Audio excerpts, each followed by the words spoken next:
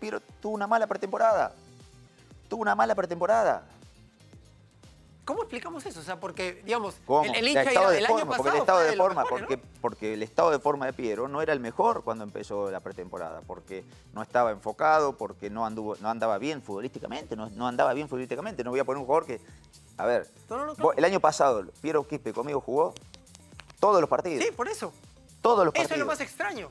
Y por algo, que voy a querer, voy a querer poner No, no, a- no, no. a uno Por que, eso se lo preguntamos. que, está, que está mal y lo voy a dejar a Piero que anda bien. No, no. ¡Ay, ay, ay, ay, ay! Aguanta, aguanta, aguanta. Yo lo dije. ¡La tocó, la tocó! Este 4-4-2 se las trae. Esto es ¡Al ángulo! Hablando, acabas de admitir, Carlos, que de repente no tenías esa capacidad de resolver desde lo desde la gestión del vestuario, desde la conversación o de repente desde la de eso de eso que tiene que ver con reanimar al equipo, pero fuera de lo táctico, sino desde esa pulsión que el jugador tiene que tener para, para reaccionar, si te he entendido bien, ¿no es cierto? Sí, a ver. Porque te quería preguntar, o sea, No, no sé. Sí, sí, más o menos así. No sé si no tengo la capacidad. Lo que creo que a lo mejor me faltó. leer ese Eh, eh, problema. Ese pro- exactamente. Leer el Sí, problema, ok. Ese es el problema. Ok, ok. Eh, no sé. Yo, yo creo que eh, con la mayoría de los futbolistas, la- todo, no- nunca tuve ningún tipo de problema. Te- ya te dije, tengo relaciones con algunos más que con otros, pero, Mm. pero a lo mejor sí es lo que, di- lo que decían. A lo mejor necesitaba algo diferente para que no, no enfocar todo en el trabajo, para que el jugador se libere un poco más. Ahora, no lo sé. No lo sé si eso va a ser la solución. Hoy día en El frío, lo, que, el técnico eh, que en frío lo razonas hoy día. Y me lo hacen pensar, puede ser. No, no- no se te viene a la cabeza decir, habiendo trabajado, por ejemplo, con Bianchi, ¿cómo hubiera actuado Bianchi en esta situación? O, o- o dices, no, no, no, no, yo no he ganado lo que ha ganado Bianchi, por lo tanto no tengo a derecho a ponerme en esa situación. Es un ejercicio... Sí. No, claro, eh, para mí eh, Bianchi fue un... Así como a mí Bielsa me marcó en diferentes cosas, Bianchi me mar- desde lo humano me, me marcó mucho. Eh, cómo él encaraba los problemas, sobre todo. Las relaciones con los futbolistas, sí, era buena, era... Era buena, era buena. Una persona que se preocupaba mucho por el futbolista. Pero bueno, yo creo, yo siempre tengo una charla con, con todos. En mi computadora voy anotando qué hablo y qué día hablé y cuándo me tocaría hablar de nuevo para no ir cayéndome y no dejar algunos colgados. Eh, para recordármelo, siempre lo hago, tengo ese tipo de relación, pregunto por la familia de entrada, quiero conocer cómo está compuesta su familia, si tienen hijos, novia, dónde viven. Y uno va haciendo cosas, pero en la vorágine del torneo y, de los partidos y de las situaciones, por ahí vas dejando eso de lado. Y, por ahí con los que tenés más afinidad, con, o con los capitanes, hablas un poco más, porque empezás a hablar de, de- de fútbol y terminas hablando de otras cosas. Pero eh, no, no, no podría hacer esa comparación de lo que podría hacer Carlos. Sí, yo a veces me pongo el- Yo lo he visto resolver problemas duros, difíciles para los grupos y tomabas, eh, hacía, tomaba soluciones que uno no les esperaba. Muy paternales, lógicamente, sin hacer grandes problemas para el grupo. Eh, yo, de hecho, he tenido el año pasado situaciones de chicos que lo habían filmado bajándose de un auto con una botella. eh, eh, y yo también fui joven y fui futbolista y también hice esas cosas y, no lo voy a crucificar porque le pase eso. Sí creo que tienen que entender dónde están, el club, lo que repercute. Ahora, eh, lo mío pasa por evaluar lo que pasa en el entrenamiento. Ellos saben que tienen que venir al otro día y entrenar de la mejor manera porque yo les exijo mucho.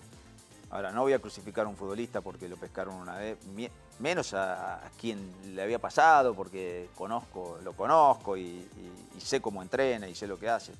Entonces, tra- trato de resolver desde no, no hacer tantos, tan- más problemas de lo, que, de lo que hay. Soy bastante, en ese sentido, bastante dócil, pero puede ser y acepto que, que me haya faltado eso. Ojalá, ojalá que sea eso el problema de la U. Ojalá que sea ese el problema. Y dentro de estas relaciones humanas, ¿cómo manejaste en estas pocas fechas por ejemplo, en la suplencia un jugador acostumbrado en el Perú al menos a ser titular, como Herrera? ¿Cómo- ¿Cómo estaba esa comunicación? Eh, mira, yo cuando hablamos, yo hablé con Emanuel eh, antes de contratarlo, le expliqué lo que yo preten- no lo que yo pretendía de él, sino cómo jugaba el equipo.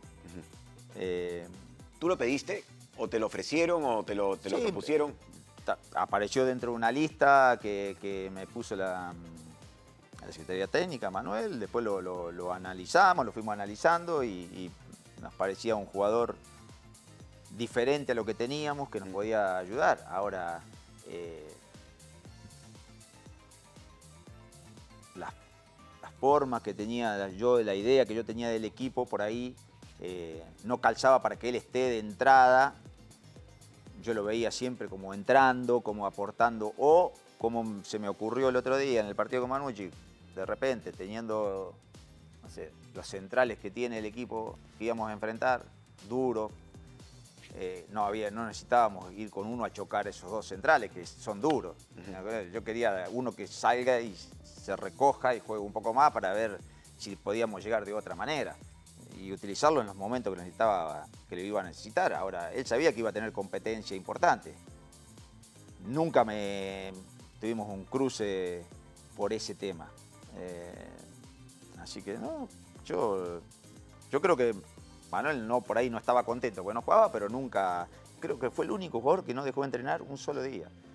Entrenó siempre, siempre se mató. eh, así que, El, el otro día cuando te quedas con 10 y, y lo expulsan a Di Benedetto, Herrera había fallado el penal. Era un momento complicado para él. Eso, eh, el penal fallado, ¿estuvo en la balanza a la hora de evaluar quién salía o las características no. y lo que pedía el partido estaban muy por encima de Sí, eso a la hora de tomar la decisión? Yo muy temprano en el partido y, y yo sé que tanto Rivera como, como Polo son jugadores que te pueden aguantar mucho el partido, rápido, eh, íbamos a tener que estar un poco más recogidos y salir más de contra. Me parecía que las características lo iban a... Lamentablemente, ¿no? Lamentablemente, porque le, lo elijo a él para que pueda em- iniciar el, el partido y lo tengo que sacar por esta situación y me dolió un montón, pero bueno, ya pienso en el equipo, no pienso en un jugador, ¿no? Y, Pero no, no es una situación, profe, que puede llegar a trascender, perdóname, José. No, no, no, dale, dale. Lo netamente futbolístico. Eh, una decisión como la de sacar a un futbolista después de fallar un penal.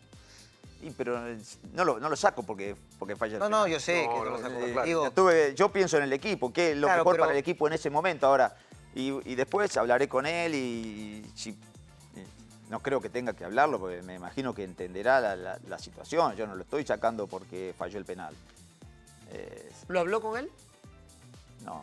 No, No, no, no, le pregunto sinceramente. No, está bien, no, no. Ah, Mi cabeza en ese momento, es decir, pero después del línea, partido Pero y- se me ocurre algo, o sea, en esa línea No, le pregunto. Ya, lo creo, no, está bien, ya lo creo que lo ha sacado porque había que uno que corriera. Si eran 10, los que 10 que quedaran No, tenían seguro, que ser los seguro, mejores físicamente, seguro, por decirlo así. seguro. Eso quiere decir que si hacía el gol, también lo sacabas. Sí. ¿No es cierto? Claro, esa es. Si hacía el gol, lo sacas igual, porque ya hizo el gol Era, y no era va a muy correr más temprano el partido, era muy temprano el partido. ¿eh? Pero por se ahí hacía- yo- yo ah, pa- sí. más adelante, por ahí no sé. Pero en, es- en ese caso me faltaba mucho, muchos minutos para jugar y Quedaba mucho partido y mucho por correr. Por eso te digo, Creo- y si, creo si hacía el gol de penal, lo sacabas igual. sí, yo- Sí. sí, sí, estoy seguro que sí. Claro. Eh, a mí me parece que tanto, mira, a mí uno de los jugadores que más me sorprendió que yo traje, que trajimos, eh, perdón, eh, es Rivera. Es un jugador que me parece que puede jugar en los tres puestos de adelante, eh, es guapo, rápido, indescifrable. No se le dio el gol, porque mira que tuvo situaciones claras, eh, la del clásico, eh, la de Cuñón Comercio, el mismo gol que nos hacen ellos, él lo tiene en el primer tiempo para definir. Eh, un jugador que se crea sus propias situaciones, todo, no le, no, no Al- la- algo Pero, en al- algún momento también lo sacó. O sea, a ver, todos pueden saqué salir. en pero el al- partido. Sí, o sea, lo sacó en pleno Ah. partido, ¿no? O sea, no, no, no del, del equipo, digamos, pero lo sacó en un momento en el, El que clásico. también- claro, que hubo una crítica, pero justo a uno de los que mejor jugaba y sale, ¿no? Entonces, y, y permítame que sea un poco incisivo en esto, porque así como ese caso, por ejemplo, y aquí hay, hay un sector, y nos incluimos creo aquí al menos la mayoría, de que no, no entendíamos por qué, por ejemplo, un jugador como Urruti o inclusive Pedro Quispe no estaba en el equipo titular. Porque Me lo cuando preguntás entraba... y te lo respondo. Claro, por eso, tranquilamente. por eso, por eso, es que por- le hago la pregunta directa. Sí, Tranquilamente. Sí. Porque ninguno lo. Porque Urruti no está físicamente para jugar 90 minutos. Y ¿Por sí. qué? ¿Por qué? Porque eh, él tuvo un problema, él jugó un gran partido con Curicó, en un partido amistoso, y nosotros Claro. jugar un gran partido, y se desgarró, y tuvo un es desgarro. Y después de ahí se recuperó, pero siempre la cicatriz le molestó, y lo tuvimos que, se tuvo que disolver esa cicatriz a través de masaje y cosas para estar bien. Él no estaba para jugar 90 minutos. Ahora, Luis me parece un, un futbolista que cuando entra me puede cambiar un partido. De hecho, cuando entró hizo el gol. Sí, pues. sí, Ok, pero salió Rivera correcto. y hizo el gol. Sí, sí. Es decir, también hay una...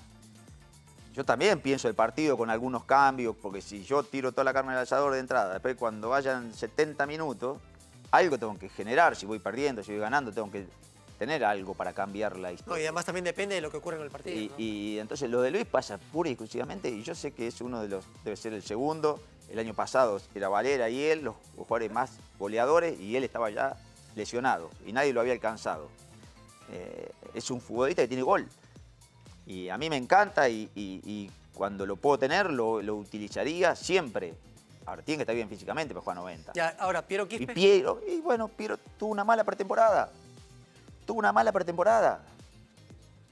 ¿Cómo explicamos eso? O sea, porque, digamos, ¿Cómo? el, el estado de el forma, año pasado porque el estado de forma, porque, ¿no? porque el estado de forma de Piero no era el mejor cuando empezó la pretemporada, porque no estaba enfocado, porque no anduvo, no andaba bien futbolísticamente, no, no andaba bien futbolísticamente. No voy a poner un jugador que. A ver, No, vos- el año pasado Piero Quispe conmigo jugó todos los partidos. Sí, por eso. Todos los Eso partidos. es lo más extraño. Y, pará, ¿qué voy a querer, voy a querer poner No, no, no, no. A uno Por que, se lo preguntamos. que, está, que está mal y lo voy a dejar Piero que anda bien. No, no. Y bueno, pero ahora, claro, Pero esto no Lo- se sabía. no, ok, ok. Eh, Yo una vez escuché a Rafa Benítez y, eh, decir lo siguiente, lo bueno es que, que la gente no vaya y tú mire los entrenamientos, que no se entera de nada, no, eh, lo malo es que no sabe qué entrenás y cómo están los demás. Te. Eh, Piero no estaba de la mejor manera, no estaba de la mejor manera. Y ya lo, lo vi en el partido, lo vimos, a lo mejor si alguno de ustedes fue al partido con Aucas, no anduvo bien, los partidos en Chile no anduvo bien, en la semana no estaba bien, no estaba fresco, no estaba picante, no estaba como había estado el año pasado. Ahora, che, ¿por qué? No sé, no vino a lo mejor enfocado, no, no, no lo sé, no lo sé. Yo no lo voy a dejar en el banco a un futbolista que conmigo jugó siempre y que me parece diferente Claro, al resto. pero- Ahora puede, desde el banco puede entrar y cambiar hasta Sí. que se ponga bien. Ahora, pero, pero estoy siendo un poco antipático, pero claro, quien nos está escuchando dirá, le están preguntando que, que, que- o sea, usted mismo dice, ¿no? Que no estaba enfocado, que no sabía, pero después usted mismo se responde y dice, no sé qué le pasaba, no sé, bueno, no es parte del trabajo del comando técnico Sí. o, de, o del psicólogo Claro, eventualmente no. saber qué es lo que le está pasando al No, jugador. pues te lo respondo, te lo respondo. Y Hablo- vamos a la pausa. Todo- Qué buena pregunta. Todos los días hablo con, todos los días hablé con Piero Quispe. Soy uno de los que más hab- con el jugador que más hablo. Le puse al nutricionista que le, que le tenía que mandar, él tenía que mandarle fotos todos los días de lo que comía, en cada comida, porque él se tenía que cuidar en la comida, tenía que mandar a ver qué es lo que estaba comiendo, que se alimente bien, porque nosotros le damos de las cuatro, dos comidas a los futbolistas, el desayuno y el almuerzo. Correcto. 50% nos cubrimos de esa situación. El otro 50% no sé lo que hace. Yo quería saber cómo comía a la tarde y a la noche. Lo cuidé, lo, lo mimé más que pude. Ahora, futbolísticamente no estaba en su forma. Pero pasa como yo te dije antes de Valera. es decir, no tiene que ver porque Piero Quispe está de joda. No, quiero decir eso. No, no, no. Quiero decir que no estaba en su mejor forma futbolística. Entonces, ¿por qué lo voy a poner si no está bien cuando tengo otro que a lo mejor está mejor? Por lo menos en el primer partido, yo en el primer partido en la conferencia dije, ¿quién es, ¿por qué este 11? Porque son los que mejor en forma llegaron. A lo mejor, claro que me gustaría haber puesto a, a Piero.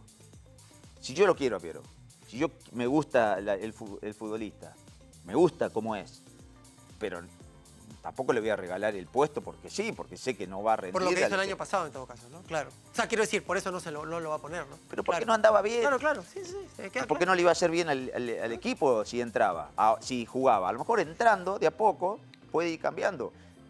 Ahora, creo que él fue mejorando de hecho, ha, ha cambiado un montón de cosas, no tengo por qué ahora decirlas acá, pero él fue y entendió que, que no estaba eh, en su mejor forma y fue cambiando ciertas cosas y, y fue mejorando de a poco. Ahora, el primer partido nosotros lo jugamos, me- ok, lo ganamos, ganamos bien, lo ganamos cómodo, no me dio para cambiar el segundo partido, porque Claro. fuimos a Unión Comercio, bueno, nosotros en Unión Comercio hemos creado situaciones, ¿eh? Y claras, ¿eh? abajo el arco. ¿eh? Tranquilamente lo podríamos haber ganado ese partido. ¿eh? Y bueno, después cuando entró Piero hizo dos o tres cosas que, que le cambian la cara al equipo y ya estaba mejor. Y el próximo partido, bueno, sí. Ahora que todo el clásico, que todo se, se- se analice por un cambio del clásico, me hacía acordar de lo que le pasó a Carlos Busto cuando nosotros ganamos allá. Todo parecía que todo había sido, si entraba Farfán o no Farfán, que se había puesto dos delanteros, uno. Sí, yo me parece que un análisis de un partido va más allá de que si uno hace un cambio de cinco... Bueno, pero, pero, pero un clásico tiene un peso muy grande, ¿no? Claro, y no, decímela a mí. Claro.